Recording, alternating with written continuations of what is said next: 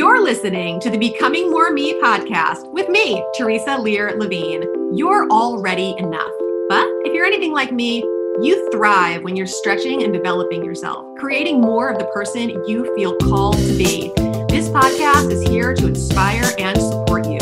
Let's release the negative, reinforce the positive, and elevate our vibe together as we tap into our limitless Hey, everybody. Thank you so much for tuning in to this week's episode of Becoming More Me. I'm happy to have Lisa Garner here with me this week as my guest, coming to us all the way from the UK in Manchester. She is a hypnotherapist that specializes in RTT, which combines hypnotherapy with CBT and NLP for fast and effective therapy. Uh, it's excellent for fears, phobias, self esteem, weight loss, fertility, OCD, and anxiety, to name a few of the things. And as many of you know, and Lisa probably doesn't even know this yet, I'm actually completing the same certification um, right now. So um, I've been a huge fan of hypnotherapy for ages. Um, have you know been helped myself by it, and that was the thing that I chose for 2023 to up level becoming more me with hypnotherapy. That was not intended to rhyme the way that it did, but it goes together quite well. So um, I've I've always been a huge fan of of the subconscious mind and just shedding more light on the power of this work. I've had um, other hypnotherapists on the show before. Um, episode 34, I had my friend Lindsay Robinson from the High Vibe Minute podcast on. And it's just something I've geeked out on for so long that having the opportunity to speak with Lisa just seemed like it would be a fun conversation. And we'd have a lot of, um, a lot of fun exploring uh, this from a new perspective and getting to hear Lisa's story as well. So, welcome to the show, Lisa. I'm glad you made the time to be here today. Thank you so much, and I'm absolutely honoured to be on the show. I've um, I've been listening to it and just getting some absolute gems from it. So I'm really pleased to be joining you and your lovely listeners. Oh, thank you so much. I love getting to know my guests a bit on a personal basis before we dive into uh, talking shop and stuff. So tell me a little bit about you. Obviously, you're from Manchester, um, or you live there now. Maybe you're not. Where, tell us where you're from. Tell us about your family, what you enjoy doing when you're not working, and all that good stuff. Excellent. So I'm originally from the northeast of England, um, a little town called Hartlepool. Um, I live in Manchester now because I met my husband at uni and he's a Manc, mm-hmm. just like uh, Oasis, same area. Um, and yeah, we met at uni, moved to Manchester. Um, I've still got my mum still lives in the northeast, so we do visit quite regularly. Um, and yeah, we've got two kids, um, India who's 13 and Etienne who is eight. And um, yeah, so I I really just fell in love with hypnotherapy because it was part of a neuro linguistic programming course that I did, and it was like two days of just absolute heaven. Um, so that that got me into that world originally. But yeah, that's a little bit about me. Absolutely. And I know you've had quite the journey with that led you to hypnotherapy and that um, you had mentioned that infertility was a big catalyst for you. Can you tell me more about like that difficult time in your life and how you worked through it? Obviously, you have two beautiful kids now. Yeah, I mean, honestly, like I do not take that for granted at all. I I just feel so blessed because so me and my husband spent three years trying to get pregnant and we were we were absolutely devastated. You know, we were, you know, for those of people who were listening, uh, who were in that situation, like my heart goes out to anyone in that situation because obviously, like you have a monthly reminder that you are not having that baby. So I, it's so hard, it's so tough, and like I, I just love kids as well. So it was, it was a real, real struggle, and I always thought I was like very attuned to like, you know, alternative therapy and like I used to have Reiki and I had reflexology and I, was going really down the medical route. Um, I had and I found out I had endometriosis when we had all the tests done, um, which obviously is very challenging when you're trying to get pregnant. Um, and I was going down all that medical route. I wasn't doing anything with my mind to help myself to get pregnant. I completely neglected my mind in the process, and all I could think about is my body's not working. to a really good friend of mine when I was I was literally booked in to have laser surgery. We call it like a laparoscopy. You know, you have the, the surgery and you have the um the endometriosis lasered off and a really good friend of, my, of mine um there was two books that i read when i was waiting to have the operation. Um jack canfield chicken soup for the soul to put me in a good frame of mind. Um he's amazing. And then the other one was the secret. She was like please read the secret.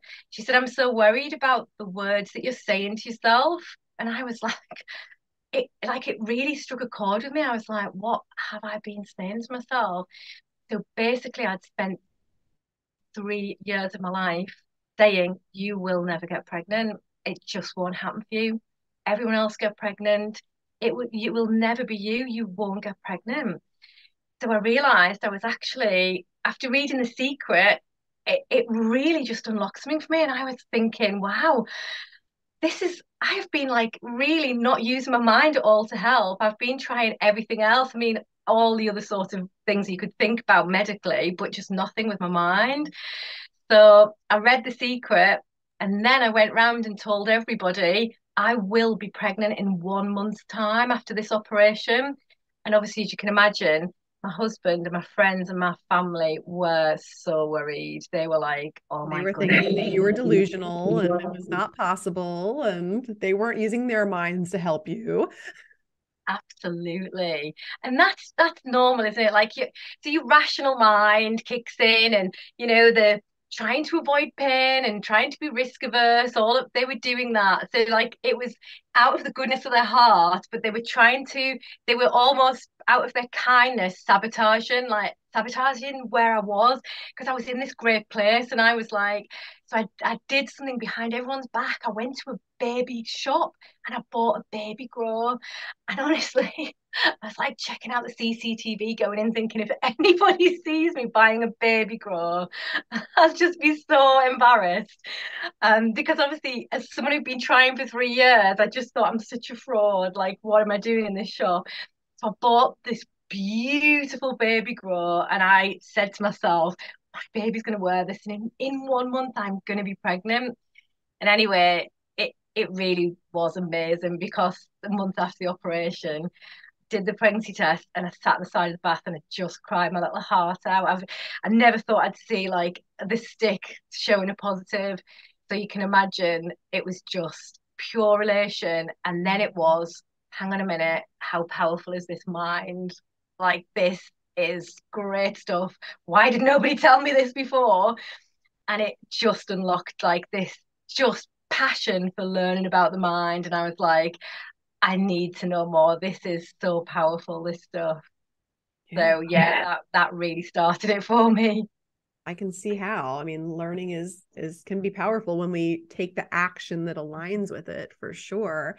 And you talked about, you know, learning being one of the best um, well-being methods um, when we were corresponding on email, and um, how that really helped you when your dad was diagnosed with Alzheimer's. Which I'm sorry to hear that. Um, is your dad still with us? He's not. He has passed now, but yeah, I'm in a really good place to talk about him um, because I feel like so and I've and I've heard your podcast and, and I feel like we're really aligned on this. Everything is learning, isn't it? Mm-hmm. And everything like you can be in the darkest, most traumatic time. And I mean, in the very early stages of my dad's diagnosis, like I was in such a very sad place because I just had my son. I, you know, you I was a, new mom sleepless nights and I'd had the diagnosis about my dad and, and I'd sit crying in the dark, feeding him on a night, just thinking, oh, I'm devastated. I was so sad about the loss of of his mind that I slowly we're going to lose pieces of his mind. Um, and in order to cope with that, I'd done the I'd I'd done some learning. Um, I'd actually started on like lots of reading. Um, but then I went, okay, I'm doing neuro linguistic programming, which led to actually the hypnotherapy, um, which I've been seeking out since The Secret and since this amazing stuff with the fertility and the mind. So I did that, and that just unlocked some more really cool, amazing stuff. And I I got really spiritual as well. I, I like I, I, grew up Catholic, but I I wasn't an amazing Catholic. I didn't follow like the strict religious rules of church and everything like this. I can relate with that. Does that make sense to you? Yeah. So I've kind of always been spiritual and I, I believe in something else, but like I, I, wasn't into all the rules. I was like, yeah, yep. was, I can't, I know there's something else in, in my heart. But I was reading lots of stuff about the afterlife, lots of gorgeous near death experiences that people had had.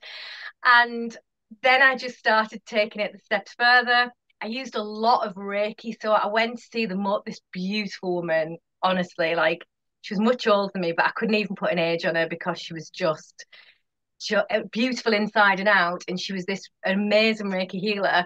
And every time I got really, really sad, I'd go and see her and I'd say, Look, she called Jennifer Rose. I'd be like, Jennifer Rose, I'm going to just like probably cry all the way through this Reiki session. And she's like, Great, you're meant to cry. yeah. So then I was like, Jennifer Rose, I think I need to do Reiki because every time I had Reiki, I, my hands got really, really warm. And she was like, You're a healer, Lisa, you're a healer. Um, and I always felt like that was, I was very like that as a child as well. I was always the person everyone went to. I was always very therapeutic with people, very caring of people. And they, I think there's something about giving, isn't there? And like Reiki's like such a great thing to to give um, and to receive. So yeah, I went down. I learned Reiki as well, um, and I did use Reiki um, with my dad um, with his Alzheimer's. You know, just to like if he was in times of because sometimes when you've got Alzheimer's, you can get a little bit manic and you can get like very agitated. So Reiki really helped with that. Um, and yeah, then I just I, I, was just constantly seeking. I was on Mindvalley all the time, looking at what what are the guys on Mindvalley like? Who are they recommending? And then I just had this taster session like for Marissa Peer, um, who I mean, if for those who don't know her, she's like this phenomenal, like she's the UK's top hypnotherapist and also one of the top in the world. Absolutely. And she is so there's just something so wonderful about her and i was hooked with her. I was like she makes perfect sense. She is speaking directly to my soul of like who i am as a person. And i was like uh, whatever this costs whatever it takes I, I i've got to do rapid transformational therapy because but the fact that it's hypnotherapy and NLP, which I'd done both of, yeah, and CBT together, I was just like, this really, really resonates with me. And it's so powerful and it's been so life changing for me. And it really, the learning helped me to feel like something positive was coming from such a dark, traumatic place with my dad's mm-hmm. Alzheimer's mm-hmm. because it was such a tough journey. But this learning about the mind, this positivity, you can't actually be negative while you're studying it. It's like you your mind gets rewired into this like glass half full all the time and you you find yourself reframing even the most negative situations and i really reframed my trauma which was wonderful. So yeah uh, marissa peer's got a, a, done a lot of good Yeah, she had a huge impact on me too, hence why I'm, you know, taking the course now too and, you know, wanting to up level because I've been in hypnotic communication and, you know, gaining the benefits of it from so long and now I'm like I'm really ready for this. So, yeah, what was so you when was the first time that you experienced hypnotherapy? I know you had a lot of things that showed you the power of your mind and everything else, but when did you actually get into hypnotherapy? So the first time was when I was doing my NLP qualification and we were like practicing hypnotherapy with each other. And um, so I had this really terrible habit of, of picking my skin. Okay. Um, now, this was like normal hypnotherapy. And it was actually the American Board of Hypnotherapy that I learned my NLP because it was Tad James as NLP. And it was really powerful stuff. We did storytelling where the other person interviewed you and you gave them things you were passionate about. So he actually created three stories for me based on things that I loved. Okay. And it was like a process of going down steps of the story and beginning the story and then taking it like an end in each story. So you'd go like beginning of story one, two, three, end of story one, two, three, like this. And then in the middle of the stories would be the hypnotic suggestion. And he did it for my skin picking. Um, and it was actually brilliant and it lasted for a little while and then it, it started again. Mm. I was like, oh, how strange. And I'd heard a few people talk about that, like having hypnotherapy and it being strong for a little while and then sort of fading. Don't know whether have you heard that with your experience of, of hypnotherapy as well? There are definitely some times when in traditional hypnotherapy, it would feel like a relief for a bit and then it would come back. And I guess before I knew what I know, I just kind of thought that's how eh, just how it's supposed to be. It's only so good or whatever. But you know, even with you know being an EFT master practitioner, understanding like you haven't gotten to the root yet. You just haven't really gotten into the subconscious mind and really rooted out the the beginning causes of it. I always kind of think about it like a a row of dominoes kind of set up and you know if you can knock over that one that's the furthest back then you have the most success at not repeating whatever it is in the in the present time but yeah i've, I've had similar yeah. similar things and you've i know a lot the, of yeah yeah you've hit the nail on the head for me so it's really interesting when you're mentioning eft like that's brand new to me eft i've only just discovered it and i'm like oh that feels so good i, I love anything to do with your energy your meridians your mm-hmm. chakras mm-hmm. So I agree with you. I think what was happening with that surface level hypnotherapy is that it was working um, because it was like exciting the mind in that moment. And then it was like the root was still there. So what was had, had happened with me, it had really excited my mind and the hypnotherapy that I learned was really good. But like the real root, the reason I picked my skin had not been uncovered. It had just been like plastered over like a right. sticking plaster. And then when you talked about EFT, then that really sort of brought it home to me because you you, you need to remove the actual block, don't you? And that was yeah. the, the missing piece for me with the traditional stuff I was doing. So with the stuff with the RTT, I decided like now I'm let's try again. Let's get rid of the picking because it, it is a real problem. I mean, it looks like I've got chicken pox when I'm in a bad way with it. So we did this session when as and I was practicing with another student and I was like, you know, I would love it if you could stop me from picking. Like I've tried before, I went back to it. So he did this session with me. And when we went back, because with RTT, Marissa takes you back, you go back and you regress, and then you go to like the inner child, really. So you go back in time. So the child me, the the age I was when I picked the picking of the skin up was really young. So it was very far back in time. So I needed that to be released in order for my future self to be healed. And I'd created the skin picking as a protection in order to safeguard me from a situation that was causing me pain in my youth. And once it was and I identified and I could let it go, which with EFT you let you let this stuff go, don't you? Mm-hmm. And with Reiki you you you let that energy yeah. flow and then go. It was like that was a, an amazing thing for me, and that's where RTT was just like this is fabulous.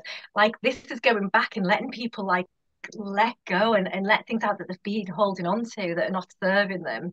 Right. Yeah. Yeah. And I know like in this day and age, it's so common for people to, you know, get a medication in order to feel safe enough to actually talk about whatever the thing is. And I think that's one of the things I love about uh, EFT, about Reiki, about hypnotherapy is that like I love to say that like I can use EFT with myself or with my clients in a way that's like a band-aid, which I would compare to like the medication kind of taking the edge off. Or yeah. I can use it for like that deep wound clean out and really get to the root of it.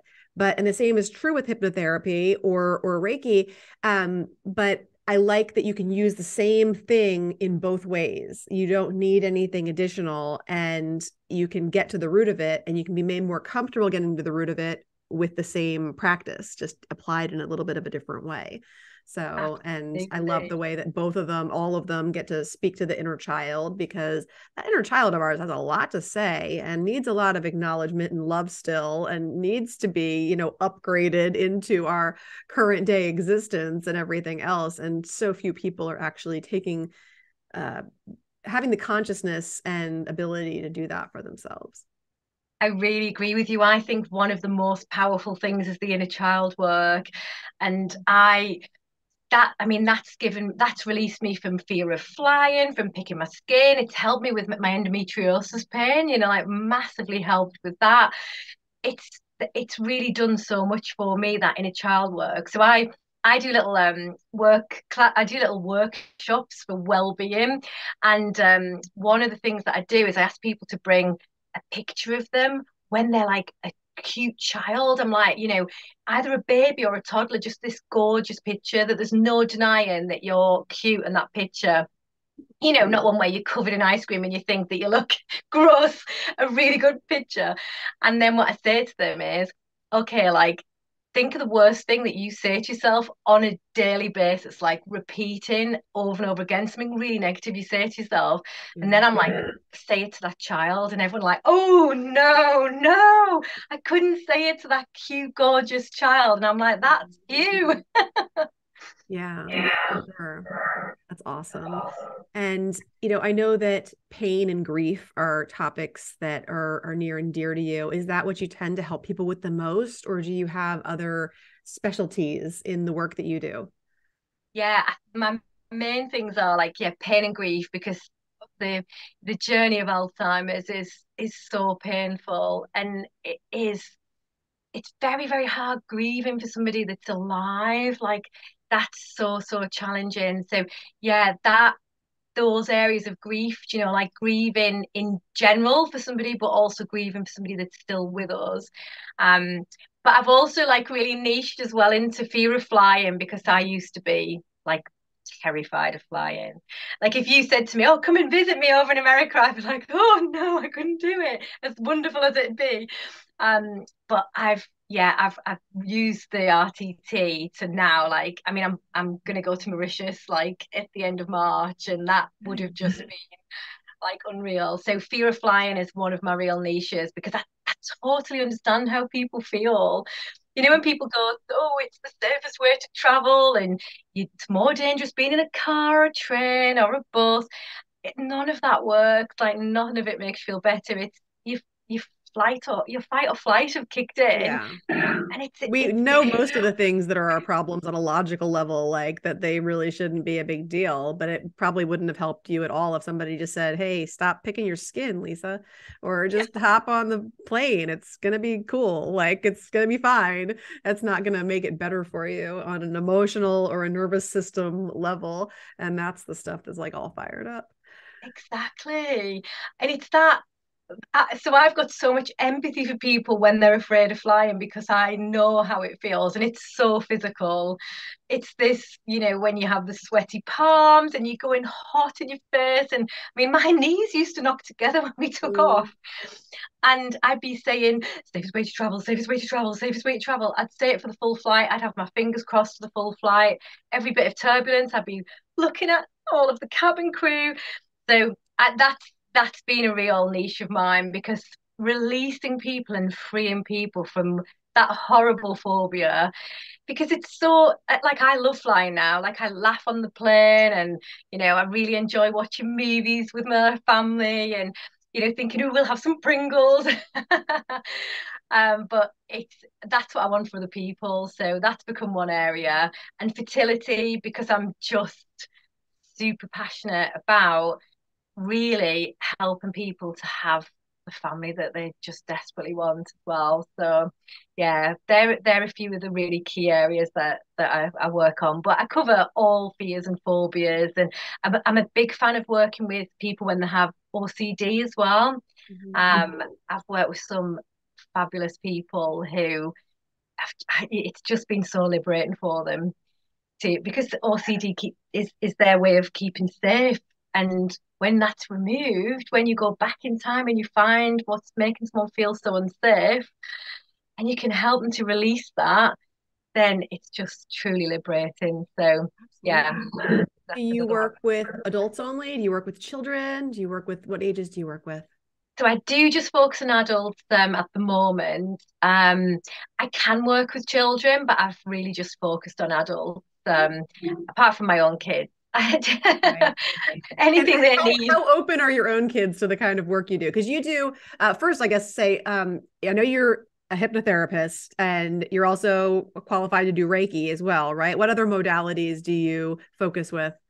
Yeah, so I've got so I'm also a transformational mindfulness coach. The very my little one's very open to mindfulness. So he's only eight and he will literally come and stand. We've got a big tree in the garden. So we go and stand by the tree and we just have some morning tree mindfulness where we just look at the tree. So he's great with mindfulness. And when he was really little and he used to hurt himself and I used to reiki him, he used to say, Don't reiki me, don't reiki me. and my daughter used to find it so funny. She'd be like, "Oh, you think that you know you're so like healing," and then you go up to him and he's like, "Don't reiki me." Oh, but he's he's pretty open to it now. He's got his he's got crystals on his windowsill and he does mindfulness on a morning. Um, he's um, yeah, he he's quite he's quite open to it all. Um, my daughter's more like she's more like a dad. She's quite a logical, pragmatic person. So she's yeah, she's happy to have a bit of Reiki, definitely, um, and happy to to to rewire and reframe and reword. Um, but yeah, they've both had a little bit of uh, hypnotherapy. Um, my son, my son had it because he was having nightmares, and he was like, "Could you make me not be scared when I go to sleep on a night?" So we did it for that, and it, it worked. And he's he said, "Ever since I had my hypnotherapy, I feel great," and he goes to bed better. So that's good. that's awesome. That's so cool. How about your kids? Have you tried it with your kids? Uh, my kids will do EFT with me sometimes um, you know, the older ones know better, you know, when they get to a certain age, they just, you know, they don't want to do what mom's doing. What I'm doing is not cool. But the younger yeah. ones are still open to it.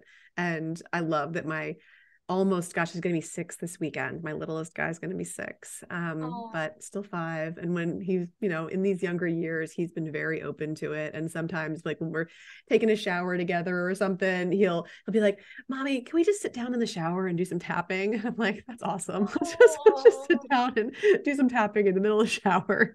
And it's, it's, it's like some of my favorite memories just he'll be like this is what's bothering me. Let's work on it. Like, okay cool. I'll do that with you.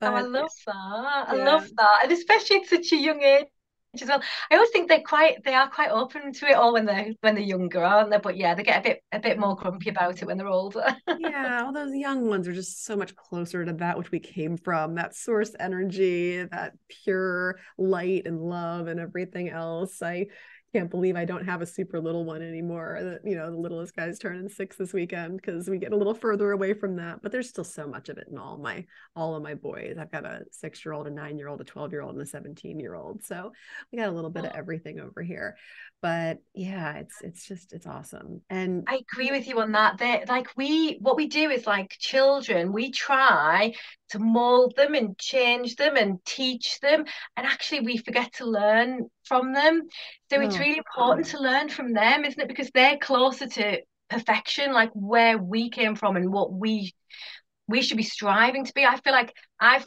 like uh, becoming more me. Yes. I feel like by becoming more me, I'm becoming more like who I originally was. Mm-hmm. Um, before I was tainted by the world, as you do. Get. we thought we had to prove that we were something else.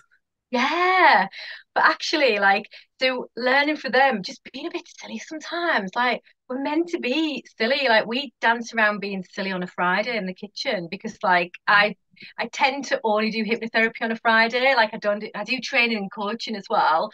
Um, so I'd spend a lot of time in offices training and coaching as well. Okay. Um, and on a Friday we just like have a dance around and be a bit silly. Yeah, I learn a ton from my kids and they definitely remind me of what matters most and they remind me of why I do what I do and everything else. So I'm so grateful to have them and yeah, it, it's it's just amazing. So Oh my goodness. What um what's a good place for people to find out more about you if they're interested in learning about the kind of coaching and things that you offer? Yeah, so um, the, I'm terrible on Instagram, so I've only just got an Instagram, and it must be an age thing. My daughter was like, "Mom, like you've got to go on Instagram. Like Facebook is so your age," and I was like, "Okay, okay." wherever, so, wherever you are is where we want to send people. We don't want to send people where you aren't. Yeah, so my so the best thing is I, I'm good on LinkedIn. I've got loads of people on LinkedIn. So um, it's just um, Lisa Garner, RTTP, and in is the LinkedIn one. Um, but I've also got a website which is lisagarnerhypnotherapy.com. So it's so easy to find, just my name and hypnotherapy.com. Um, and yeah, I am on Insta and I'm on Facebook, but yeah, not really. I don't I don't really do enough on the social media marketing side, really. I should do mm-hmm. more.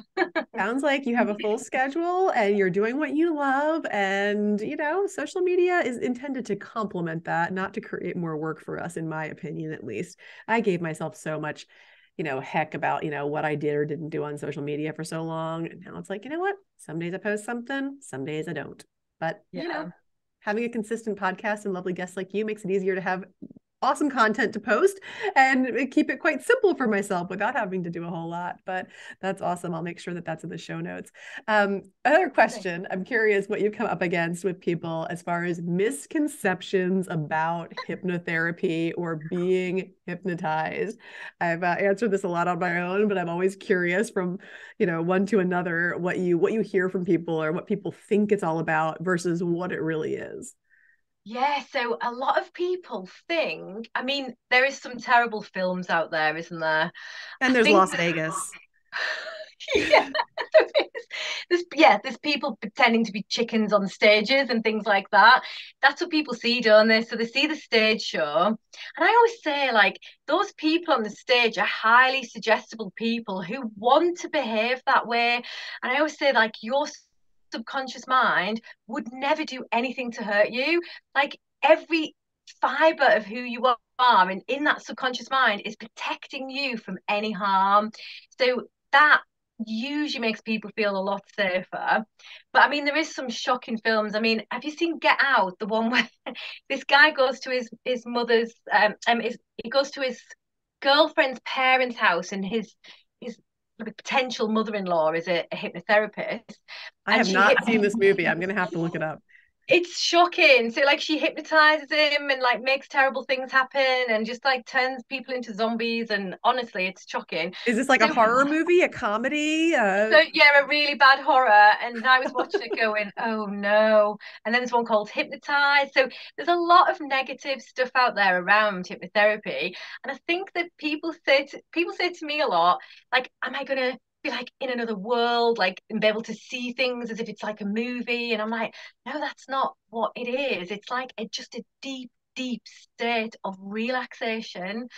And all we're doing is we're quieting that frontal lobe so that that human rational, that critical voice in your head is not like chattering away, getting you to a very deep state of relaxation you're always in control and just so that you can connect to the the real the important part of you that, that knows the answers.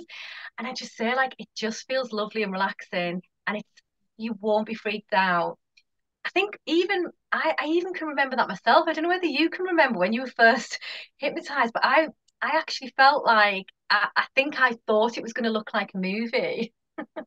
Yeah i think yeah. the first times that i remember um going into like trance state was with like self-guided type tracks like that you could find on like YouTube or some of like the things that maybe Marisa put out that like anybody could listen to kind of thing.